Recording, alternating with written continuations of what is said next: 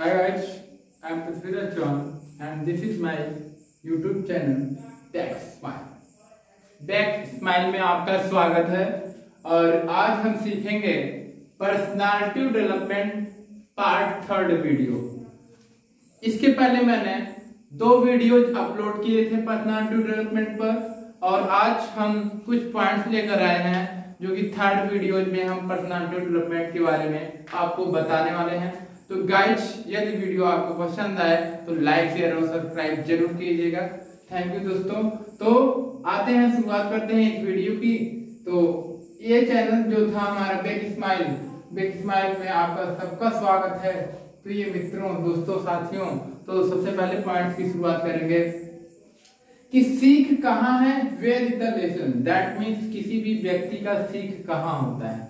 क्या हम केवल किताबों से ही सीख सकते हैं? This is only the fact हमें किताबों से सीख ज़रूर मिलती है लेसन ज़रूर मिलते हैं बट हम इंसान में भी सीख सीख सकते हैं। यानी इंसानों से भी हम कुछ लर्न कर सकते हैं। हम इंसान के द्वारा इंसान में कुछ अर्न और लर्न कर सकते हैं, यदि हम बात करें नॉलेज की तो। आप जितने ज़्यादा लोगों से मिलते हैं, जितने भी ज़्यादा लोगों से आप मिलते हैं, उतना सीखते हैं। ये आपको अनुभव नहीं होता है, लेकिन आप जितने ज़्यादा लोगों से मिलते हैं, उतना सीखते हैं। अर्थात, ज़्यादा लोगों से मिलो और ज़्यादा सीखो। कभी भी ज़िंदगी में हमेशा ये एक निश्चित दायरे में जीवन होता है सबका। हमेशा ये थिंकिंग रहनी चाहिए एक पर्सनालिटी डेवलपमेंट पीपल में कि वो ज़्यादा से ज़्यादा लोगों से मिले और ज़्यादा से ज़्यादा उनसे सीखे। नेक्स्ट टर्म पे आता है रीडिंग हैबिट रीडिंग हैबिट एक ऐसा टॉपिक है जो सबको करनी चाहिए दोस्तों। ये ज़रूरी नहीं होता कि एक jobber one who one who get the job job पाने के लिए और जो जॉब पाया है वो, या किसी कार्यरत किसी जॉब को कर रहा है वो। केवल वही रीडिंग हैबिट को अपनाए, बल्कि सभी पीपल एवरी पर्सन सबको रीडिंग हैबिट को अपनाना चाहिए। क्यों? तो इसके बारे में आइए जान देते हैं। यदि आप रीडिंग हैबिट को अपनाते हैं तो इससे आपका शब्द भंडार बढ़ेगा। क्या बढ़ेगा दोस्तों? पॉइंट विल बी नोटेड शब्द भंडार बढ़ेगा। दैट मीन्स कि यदि जो आपका दिमाग है, उसमें जो भी आपके दिमाग में वर्ड्स हैं यूजेज ऑफ़ द वर्ड हैं, जो भी आप शब्द यूज़ करते हो, उसमें थोड़ा जो भी कमी रह गई हो, वो बढ़ेगा। आप चीज़ों को बेहतर समझ पाएँगे यदि आपके पास ज़्यादा वर्ड होंगे।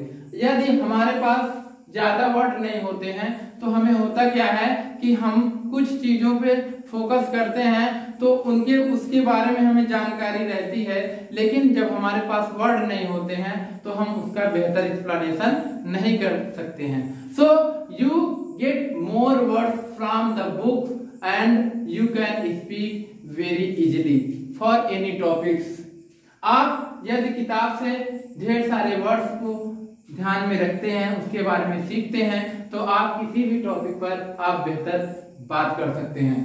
और आप यदि किसी को बेहतर समझ, समझा पाओगे तो वो बेहतर आपको समझेगा भी और आप बेहतर समझा भी पाओगे। और किसी को भी बातों में बेहतर समझ पाएँगे, समझदार वो नहीं होते हैं जो दूसरों की गलती को गलत कहने के लिए हो। समझदार व्यक्ति वो कभी नहीं होता है जो दूसरे की गलतियों को गलत कहे।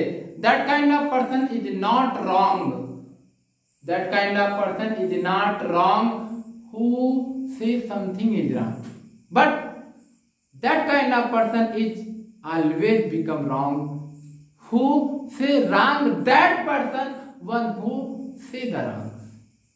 जो व्यक्ति गलत कहता है, यदि उसको गलत कहने वाले हो तो वो गलत होते हैं। जो व्यक्ति गलत कहता है, उसको गलत कहने वाले लोग हैं। तो वो गलत कहने वाले लोग गलत हैं, बल्कि वो व्यक्ति नहीं गलत है जो गलत कहता है। क्यों गलत है? क्योंकि वो व्यक्ति उसकी गलतियों से कुछ सीख नहीं पाता है। वो व्यक्ति that kind of person never even learn from that person one who इसलिए आपका यही ध्येय होना चाहिए कि हमें गलत पर्सन से, उसकी गलतियों से सीख लेनी चाहिए। समझदार वो होता है जो दूसरे की गलतियों से सीखता है। समझदार वो नहीं होता है जो दूसरे की गलतियों को सिर्फ़ गलत करार देके वहाँ से हट जाता है। सो आप क्या करें? दूसरों की गलतियों से सीखें। नेक्स्ट टॉपिक पर हम बात करेंगे कि हमेशा नए इंटरेस्ट डेवलप करो। दैट मीन्स कि जिस एरिया में आपका इंटरेस्ट नहीं है where you not interested you build your interest at that kind of areas जहाँ पे आपका इंटरेस्ट नहीं है, वहाँ पे आप अपने इंटरेस्ट को डेवलप करिए। Always develop your new interest in whole life ज़िंदगी भर, क्या कहा मैंने दोस्तों? ज़िंदगी भर आप हमेशा नए इंटरेस्ट को डेवलप करो। किसे डेवलप करो? नए इंटरेस्ट को डेवलप करो और पूरे जीवन में नए इंटरेस्ट यदि आप डेवलप करोगे तो आप नए मुकाम हासिल करोगे, नई सफलताएँ आपको मिलेंगी। और जी हाँ दोस्तों छोटी छोटी सफलताओं से एक बड़ी सफलता का निर्माण होता है। जैसे छोटे छोटे उद्देश्य से हमारे बड़े उद्देश्य बन जाते हैं। जैसे छोटी छोटी ईटों से एक बड़ी दीवार खड़ी हो जाती है। ऐसे ही छोटे छोटे एम्स से छोटे से न्यू इंटरेस्ट डेवलप करने से हमारे लाइफ का एक बड़ा सफलता हासिल होता है। गुड लिसनर बनिए। नेक्स्ट पॉइंट पर हम बात करेंगे good listener listener that mean श्रोता। एक अच्छा व्यक्ति का गुण ये होता है कि यदि उसके सामने कोई बोल रहा है, उससे बेहतर पर्सनालिटी बोल रही है तो उसको क्या करे? पहले सुने इसके बाद, सुनने के बाद ही हमें बोलना चाहिए। हमारा पर्सनालिटी डेवलपमेंट लेसन आपको यह सिखाता है कि यदि ग्रुप ऑफ़ द मेंबर्स में यदि आप भी शामिल हैं तो आपके सामने फ्रंट ऑफ़ द पर्सन यदि कुछ बोल रहा है तो उसकी बातों को आप बेहतर तरीके से सुने। ना कि उसके बीच में ही टिप्पणी कर दें कमेंट कर दें। तो एक बेहतर लेखन के लिए एक अच्छे श्रोता बनिए, तब तक मत बोलो जब तक कि सामने वाला बोलना बंद नहीं कर देता है।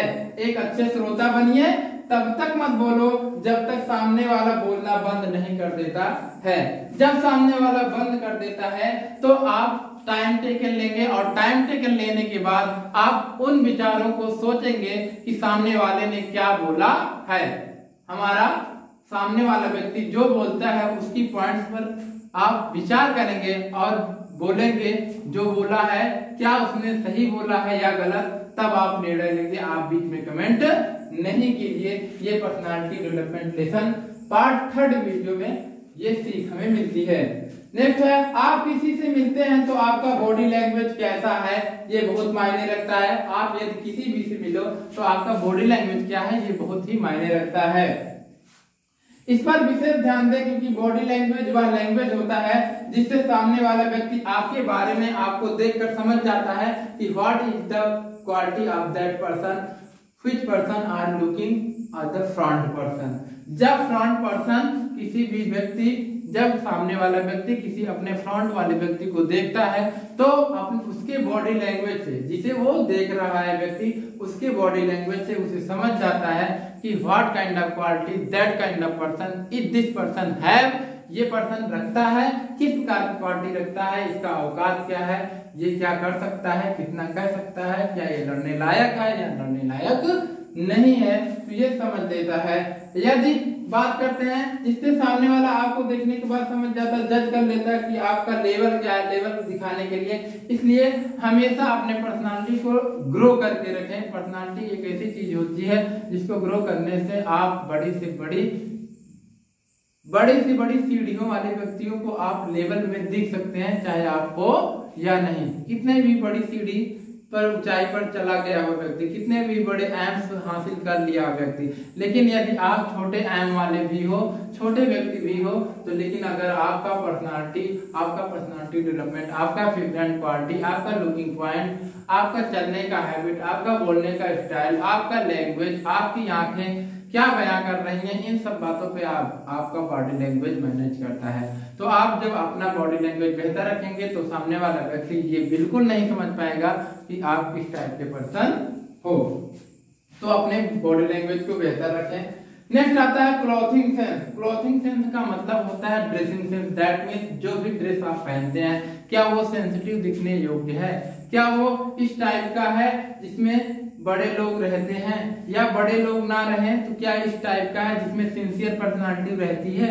क्या इस टाइप का है जिसमें दूसरे तरह के व्यक्ति जो अननेसेसरी कमेंट अननेसेसरी थाट वाले होते हैं, दिखावा करते हैं अपने ड्रेसिंग सेंस पर? ये ड्रेसिंग सेंस में नहीं होना चाहिए।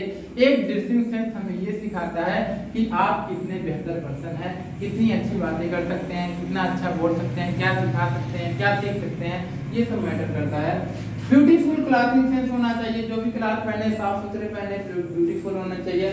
और डिपेंड्स अपॉन द सिचुएशन ये सिचुएशन पर डिपेंड करता है। अब हम बात करते थे, अगर कोई वर्कर है तो क्या उसका क्लॉथिंग सेंस एकदम बहुत बेहतर तो नहीं हो सकता है? जी हाँ दोस्तों तो हम वर्कर की बात नहीं कर रहे हैं। One who person one who person is working in their field उसका उसका ड्रेसिंग सेंस तो उसकी जैसा नहीं हो सकता है, जैसा कि सेंस की बात हम कर रहे हैं, जैसा ड्रेसिंग सेंस हम चाहते हैं। तो नेक्स्ट नेक्स्ट बात आती है सॉफ्ट स्पीकिंग अपनी स्पीकिंग को उतने ही साउंड दीजिए जितना साउंड चाहिए। अपनी स्पीकिंग को सॉफ्ट रखिए और विनम्रता के साथ बोलना सीखिए। विनम्रता के साथ। स्पीकिंग में हमेशा विनम्रता होना चाहिए।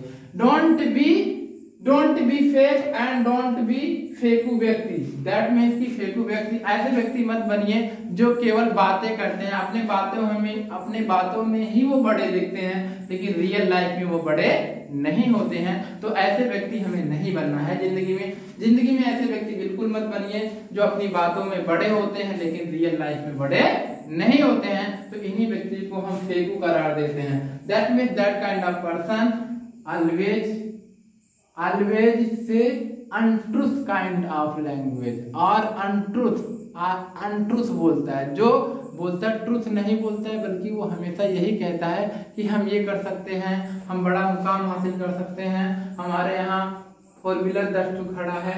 ऐसे ऐसे बातें करता है, लेकिन रियल लाइफ में अभी वो बहुत छोटा आदमी था। तो हमें ऐसा नहीं होना चाहिए।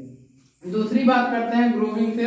जैसे यदि हम बात करें सभी व्यक्तियों के पास दाढ़ी होती है, दाढ़ी की बात करते हैं ग्रूमिंग से, यानी कि बियर्ड की बात करते हैं। तो व्यक्ति क्या करता है? अपने दाढ़ी को बड़ा रख लेता है, कोई व्यक्ति नहीं रखता है, कोई व्यक्ति कैसा भी छोड़ देता है। तो एक बेहतर पर्सनालिटी के लिए हम बात करें दोस्तों। तो उसका सेव होना चाहिए, सेव होना चाहिए, और उसके पर्सनालिटी पर यदि सुबह नहीं दे रहा है तो उसके दाढ़ी वगैरह हमेशा के लिए उसकी बनी रहनी चाहिए, एक बेहतर ड्रेसिंग होने चाहिए, जिससे हमारी पर्सनालिटी का निखार है और अगला बात करते हैं फेस और हेयर स्टाइल की। तो हेयर स्टाइल हमेशा अच्छा रखना चाहिए, ऐसे व्यक्तियों की तरह नहीं रखने चाहिए, जैसे कि आजकल के फ़िल्म फ़िल्म मेकर्स रखते हैं या फ़िल्म मेकर्स रियल लाइफ में नहीं रखते हैं बट केवल फ़िल्मों में ही रखते हैं। तो दिखावे के लिए तो वो लोग आपको बेकार कर रहे हैं, लेकिन वो असल में रियल लाइफ में बेकार व्यक्ति नहीं है। हम उनको देखने तो ज़रूर जाते हैं, लेकिन उनके रियल लाइफ कभी नहीं देखा हमने। हम एक्टर और एक्ट्रेस के फिल्मी एक्टिंग को ज़रूर देखते हैं but we can not see their real life हम कभी उनके रियल लाइफ हैबिटेट्स को नहीं देखते हैं, जो कि वो फॉलो करते हैं। जो असल में दिखाया जाता है फ़िल्मों में, वो फॉलो करना अलग बात होती है, और जो रियल लाइफ में उनका होता है, वो अलग की बात होती है। तो यदि अगर आप फॉलो करते हैं तो फ़िल्मों को मत फॉलो करिए। हम ये कहते हैं, यदि आपको अक्षय कुमार जी को फॉलो करना है तो आप उनके रियल लाइफ को फॉलो कीजिए। यदि आप उनके रियल लाइफ को फॉलो करेंगे तो ज़िंदगी में और भी आगे बढ़ेंगे। तो आज का बस इतना ही टॉपिक था दोस्तों। हमें यहीं पर अपने वीडियो को क्लोज करना है। अब इस बिग स्माइल चैनल पर ऐसे ही वीडियोज़ आते रहेंगे। जी हाँ दोस्तों, यदि हमारा वीडियो आपको पसंद आए तो please like share and subscribe ज़रूर कीजिएगा। Thank you and have a nice day thank you दोस्तों।